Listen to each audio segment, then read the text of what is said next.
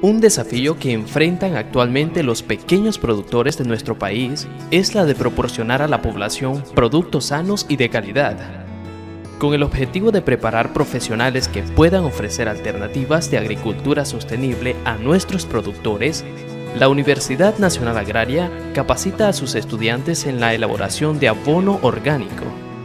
Nuestro objetivo pues, en este módulo es aprender sanidad, eh, cómo contrarrestar las plagas que afectan a, los diferentes cultivos, cómo poder ayudar a nuestros agricultores, enseñarles técnicas de sanidad para que eh, haya un mejor rendimiento en la producción agrícola.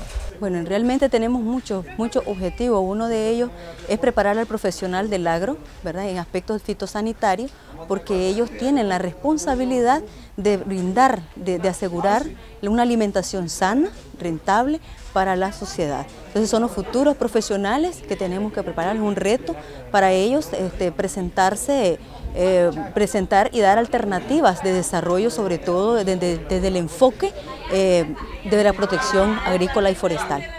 La elaboración de lombriz humus es fácil. Se requiere una caja de cemento o madera, lombrices, estiércol de vaca o desperdicios de comida. Este abono, además de ser un excelente fertilizante, mejora la estructura del suelo, haciéndolo más permeable al agua. No estamos dañando tanto el, suelo, ya que de por sí que está desgastado y al utilizar más este, fertilizantes químicos y eso no lo estamos dañando tanto, sino que más bien le estamos agregando material orgánico al suelo. Actualmente en nuestro país, muchos pequeños y medianos productores utilizan este tipo de abono con muy buenos resultados. Antes se tiraba cosas de químico, ahora no lo hacemos. Ahora lo hacemos solamente con, con cosas orgánicas. Que eso los ayuda bastante a mantener el medio ambiente, por lo menos no a destruirlo, pues, sino que darle vida.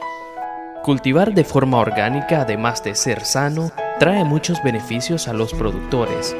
Eh, un precio eh, realmente alternativo.